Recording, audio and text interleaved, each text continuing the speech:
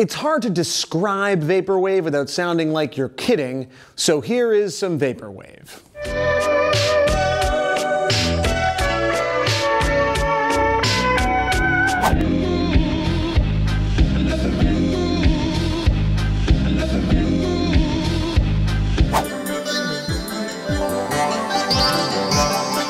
Let us begin. You're already familiar with Vaporwave, please forgive me for retreading old ground, especially if you think that the genre died in early 2013. At least I'm not doing a Seapunk episode. If you've heard of Seapunk before, you're already exhausted and annoyed that I'm about to talk about it again. That's me talking about Seapunk on MTV in 2012, which I think is probably an important starting point. Seapunk started as a joke on Twitter in 2011. It steamrolled from there into a Tumblr meme, a music scene, and finally found its way to mainstream culture through artists like Lady Gaga, Katy Perry, and Nicki Minaj. Thanks, Sam. Seapunk wasn't built to last, but its aesthetic fascination with 90s internet culture and graphics morphed into another Tumblr-born music scene, Vaporwave.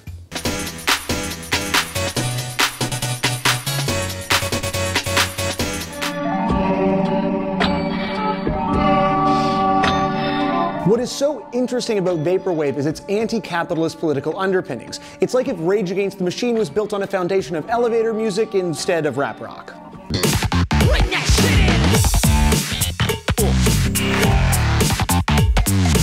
First, there's the name.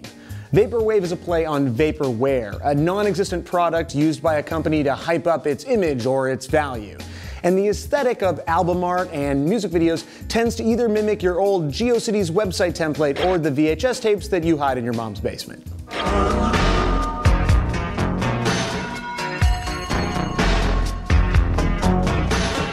Vaporwave tracks themselves detune and scramble, lounge, smooth jazz, and muzak, mocking the emptiness of this hyper-capitalist music by recontextualizing and reimagining it.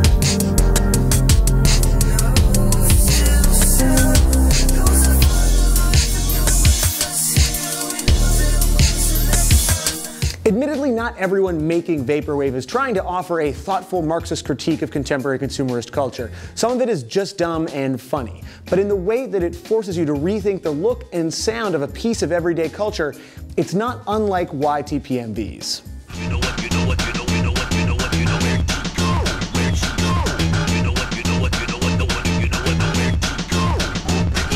YouTube poop music videos are the musical cousin of YouTube poops. Hey, Zelda, wake up! Huh? No, I can't go on without Zelda. I'm on a jump. yum, yum, yum. A weird part of the YouTube ecosystem and wider remix culture for the better part of a decade, poops and poop music videos often use nostalgic snippets of audio and video just like Vaporwave. It's just a different subculture's nostalgia.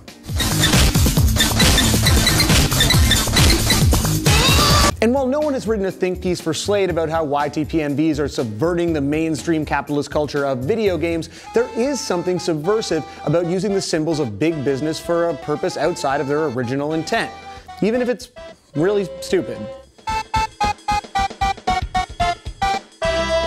Stupid is certainly one way to describe a lot of Vaporwave. When The Wire picked James Ferraro's Far Side Virtual as its album of the year in 2011, the magazine had to publish an explanation of their voting process just to deal with the controversy the selection had caused.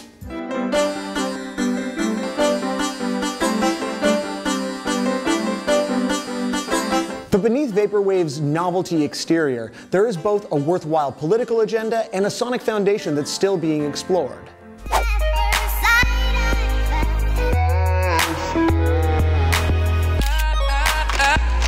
I'd actually argue that Vaporwave is the first genre of music to so explicitly draw its influence from music with no artistic purpose. That in attempting to give meaning to soulless muzak, it's actually opening up new sonic possibilities that once the novelty wears off, will have an effect on mainstream music that is far bigger than Seapunk at its mainstream peak. Rihanna on Saturday Night Live.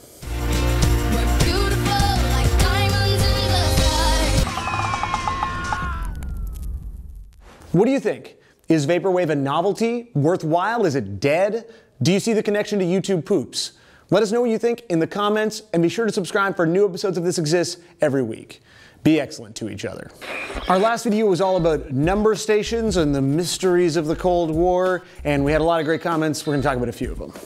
Matt99J exposed my mind to the strange mystery of the Lincolnshire poacher appearing again in 2013, this time as a phone number. So I'm including a link uh, to a Reddit thread about this in the description, uh, but basically you could call this number and it seemed to be the broadcast of the Lincolnshire poacher, something similar to it that you would hear, repeating numbers, the song, uh, and that is scary as hell. Supposedly this was all connected to MI6, but I couldn't actually find any proof connecting it to MI6. Anyway, there's a lot of stuff uh, that you can uh, follow if you want to go down that hole. But really interesting that that is one contemporary uh, morph, one contemporary evolution of the world of number stations.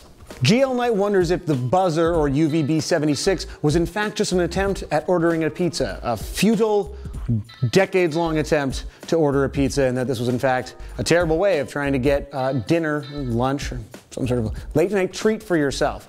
I think this is uh, totally possible, and I would suggest that if you were the Russian spies operating the buzzer station, you in fact try Push for Pizza. If anyone is not familiar with Push for Pizza, it's basically the yo of pizza ordering and has the best video explanation of anything I've ever seen a video explanation for. Link to that is in the description. The Ultimate Racer, congratulations on your achievement, wondered what the chances were of their comment appearing in this video. And I'd say the chances are pretty good. Congrats on being both the ultimate racer and in this video. Zdask, along with several of you, complained a bit about the title of the last video. It was something along the lines of Cold War Radio Mystery Revealed, uh, and there was some belly aching that nothing was actually revealed in the video.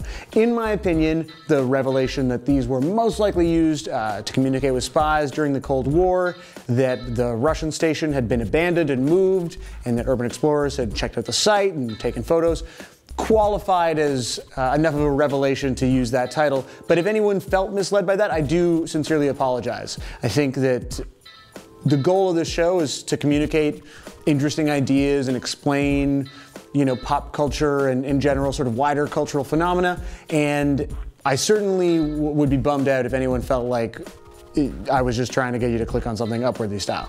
So in the future, it will be something that I will keep in mind, and hopefully we can have titles on these videos that are both exciting and make you want to click on them, but you know, don't ultimately leave any of you feeling kind of ripped off. And I think that that's a fine line that you always need to walk when you're making anything on the internet.